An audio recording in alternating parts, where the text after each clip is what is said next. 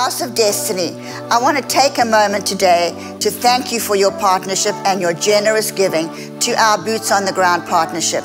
When you choose to be a monthly partner with us through Boots on the Ground, you are fulfilling the greatest commission of all to bring the gospel to the darkest places on earth. Through Boots on the Ground, you are changing lives around the world with life saving surgeries, feeding programs, and education. If you aren't yet a partner, I encourage you to click the partner link above. Thank you for your love and your generosity.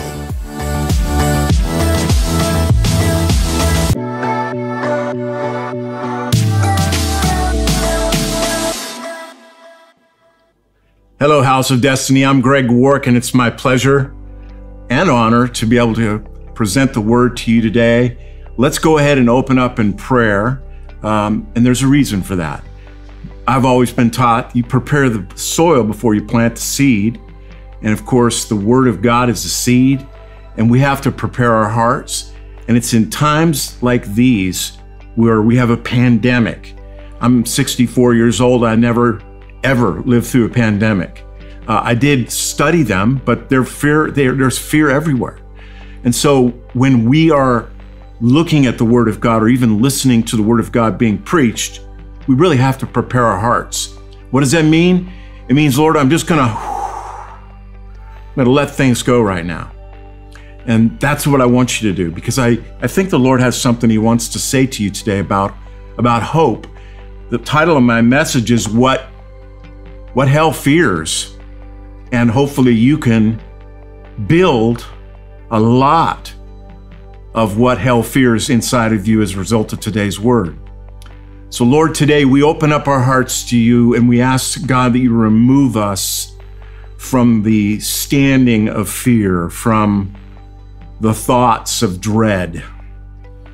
And that you, God, would open up your word to us so that we can hear things that would be otherwise obscured. Otherwise, we would be unable to hear it. So remove those things from us now. We submit to you, Lord God, in Jesus' name. Amen. Again, title of my message is What Hell Fears. I want to start with Hebrews chapter 11, verse 1. I'm only going to read uh, one verse, and it goes like this Paul said, Faith is the substance of things hoped for and the evidence of things not seen. I don't know if you're like me, but I've I've read that about a thousand times. And I've heard it preached. I went through the season where all the faith churches were in existence, and that, that scripture meant you can be a millionaire, you can be a billionaire, you can have this if you have enough faith. You better have enough faith. Oh man, sorry, but I got faith, and I have all of you out there to make sure that my faith's completed. But but but at home, I'm going what do I got to do? Because that's always the way it was left. It was always left that way when it was preached to me. If you have enough faith, you'll get this. And when I didn't get it, guess what? I'd sit down at night and I'd think, I didn't have enough faith. Well, my friends, that's not what it means at all. And the people that tell you that know that. But I can tell you this that when you read the book of Hebrews, that who the guys and women and men who lived faith as a substance of what is hoped for, the evidence of what is not seen. They lived that out. So God intended that our study of the heroes of faith be able to mirror the the, the actions, the physicality of what that passage in Hebrews 11 1 means. But it speaks of the exploits, the heroes of faith, their absolute unconditional fearlessness of anything. Their absolute unconditional fearlessness of anything. That's what faith is. That's the faith Paul is talking about here. We love those stories, don't we? We love to read of their exploits, imagining ourselves being in that place and then being able to do that because something overshadows us called faith. We would we love those stories, but my friends, in times like these, we must do more than love those stories. We have to become those stories. Let me say that again. In times like these, we need to more, we need to, to do more than love the stories. This is our opportunity to be the stories. Now, let me say this to you. Have you ever thought of this fact? That every single story about a person in the book of Hebrews, every single, single story that Paul tells is a story that was done in a time of turmoil pandemic, cruise, uh, uh, uh, you know, the times when, when martyrs were made. Persecution is the word I'm looking for. It, they were never done while someone's just sitting around doing nothing. They were always in a time of crisis. And right now, God is searching for men and women who He can give something and it's the most important word in Hebrews chapter 11, and it's called hope. Do you realize that without God's hope, there is no faith? Faith is a substance.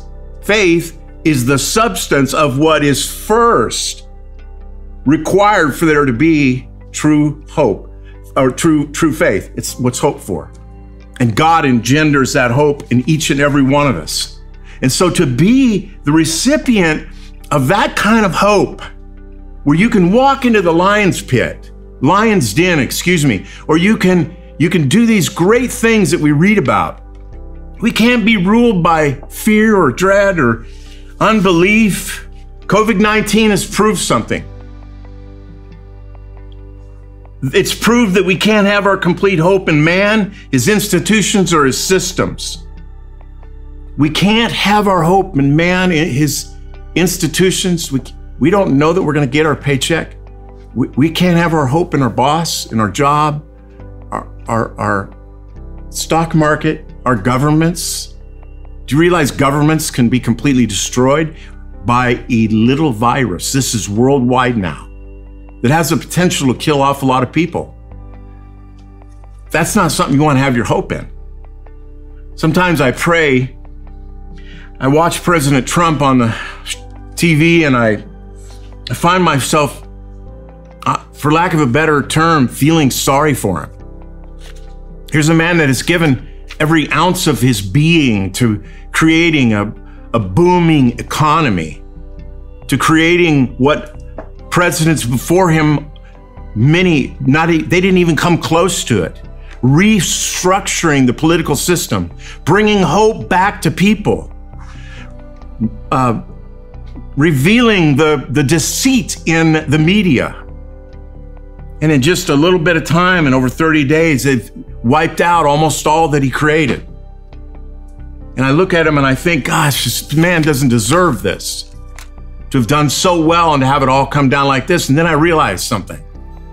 Because I wrote him a letter once, he wrote me one back. I've seen him, I've watched his character. I know, don't care whether you hate him or love him. I can just tell you, as a man, I firmly believe that the reason he's optimistic in times like this is because his hope is in God.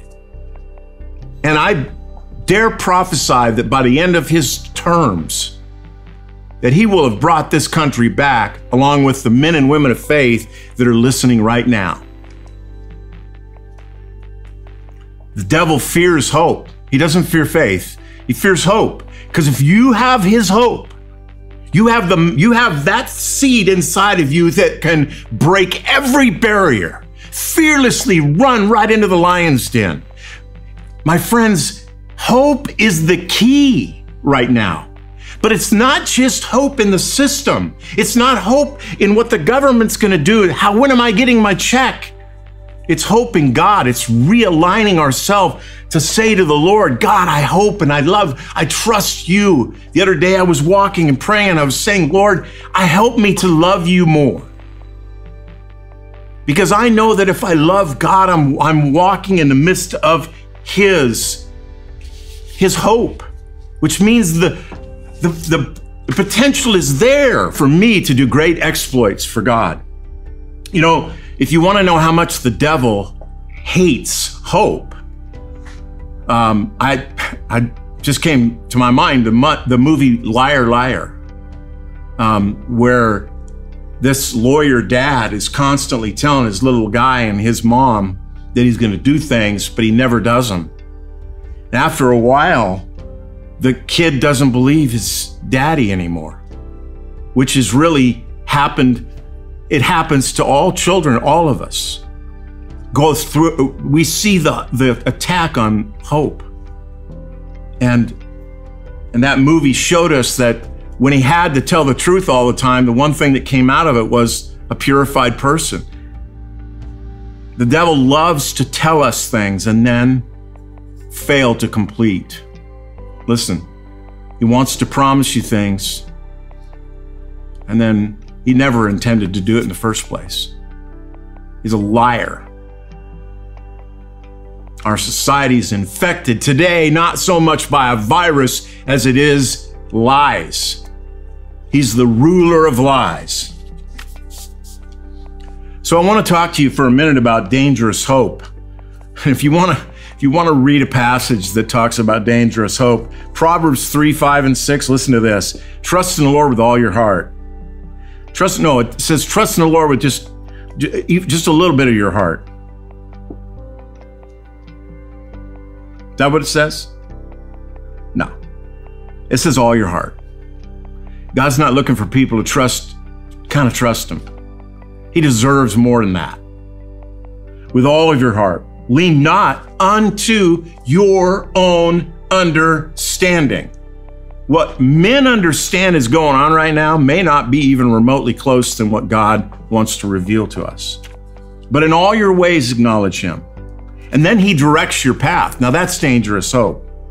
You see, if our hope is not first and foremost in God, then we walk on dangerous ground. We walk on that ground where we are absolutely surely going to be let down.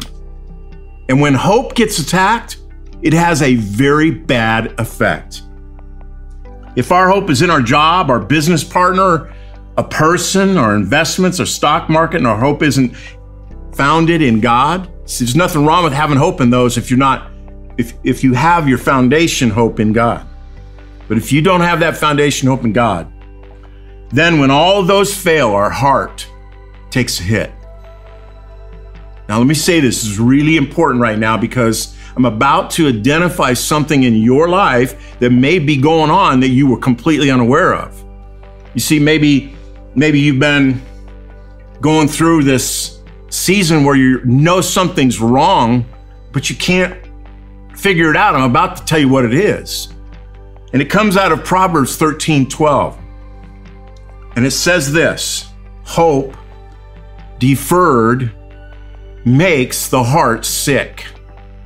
Let me say that again. Hope put off, not, not accomplished, or even if it was lied, when, when we were completely lied, our hope was based on a lie. When that happens, our heart becomes sick. Some people today would call it depression. Maybe you think you're depressed. Maybe you've got all this anxiety, this pessimism, this unbelief.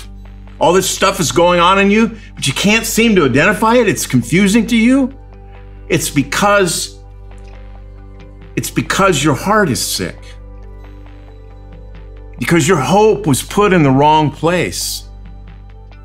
And when your heart is sick, it's not necessarily here that you feel it, it's in the center of your being.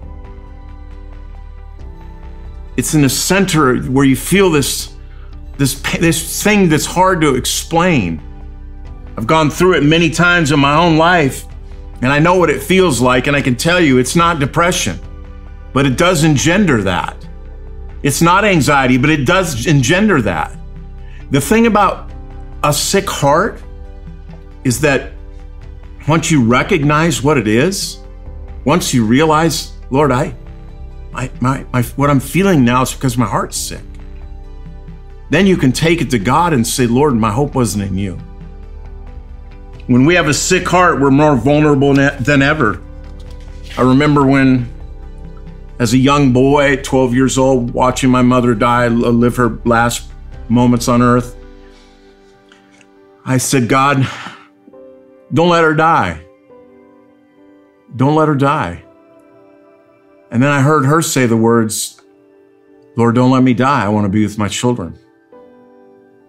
And in that moment, I was pretty vulnerable because she breathed her last breath in a few minutes. And after that happened, I said to God, I will never trust you again. As a 12 year old boy in a closet, because I didn't want anybody to see me, I uttered those words that I later repented of when I knew the truth. But my heart was sick. And today you may be in that place. There's been a lot of reason for us to come to realizing how much our hope is where it shouldn't be. My friends, just don't stay there. Let me close with this because, you know, when our hope in Christ is our foundation, when all else fails, when we can't go to church, whoever thought that would be the case? When we can't have Easter Sunday church in our services, in, in our churches, when our job, we don't have a job. Money's not coming in. If our hope is in where it's supposed to be, we're steady. We're able to receive His hope in, in, in the midst of that mess. And we're ready to join the, story, the stories of the heroes.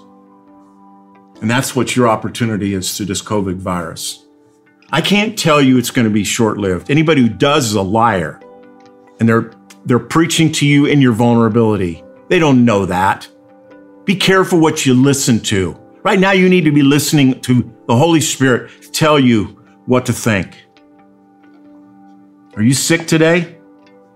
Have you come to realize that your hope is in the wrong places? Good. You're sick, your hope's in the wrong places. Now you know what to do. What do you do in that time? You simply say, Father, forgive me. My hope was where it shouldn't be, but God, now I place my hope and trust in you, which is what I did that day that you received me as your child and adopted me into my faith. My friends, today, if this kind of hit home, I would like you to put your hand right here in the center of your chest. And Lord, I ask that in Jesus' name, that you would restore the hope of Christ, the foundation of Christ that you would restore that to this sick heart. There, receive it. Some of you are really being touched right now. Just receive what God is doing. That that hope is beginning to, it's that knot is beginning to give up, because your hope is being restored in something, in something that's bigger than anything that can be seen. Let the fear go now. Let the dread go, and let God circle you again with his love. Lord, I pray today that as men and women of true hope, that you would turn that hope into an act of faith that would result in us doing great things for you. I pray that in the mighty, powerful, holy name of Jesus Christ, our Lord. My friends, we love to hear from you. We'd love to have your prayer request. We need to know what's what's going on in your life because we're your family. And families care about each other. And at the House of Destiny, we don't take what you send us lightly. And I would appreciate it deeply if you let us know what we can do to help you. May the Lord be with you in this time and in this season. But may you find yourself strong not weak, filled with faith, not filled with fear, and filled with the Holy Spirit. God bless you. God loves you so much. And guess what? We do too, because He lives in our hearts. We want to hear from you. You can email us at hope at houseofdestiny.org. And be sure also to tuck in a testimony uh, when you have opportunity. God is great, He's doing a wonderful work, and we're excited about it. Thank you for watching the House of Destiny's YouTube channel.